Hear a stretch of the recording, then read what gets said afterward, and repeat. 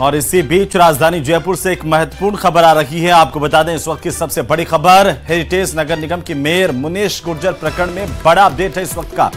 17 सितंबर को जवाब पेश करेंगे मुनेश गुर्जर। मुनेश गुर्जर को डीएलबी की ओर से नोटिस जारी किया गया था।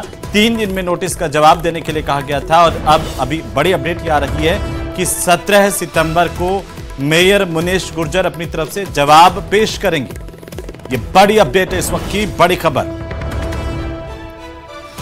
हेरिटेज नगर निगम के मेयर मुनेश गुर्जर प्रकरण को लेकर के सबसे बड़ी जानकारी।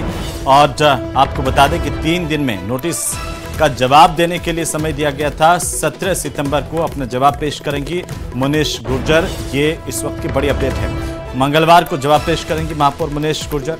अभियोजन स्वीकृति के बाद महापौर मुनेश गुर्जर को नोटिस जारी किया गया था। उनसे तीन दिन में नोटिस का जवाब देने के लिए कहा गया था।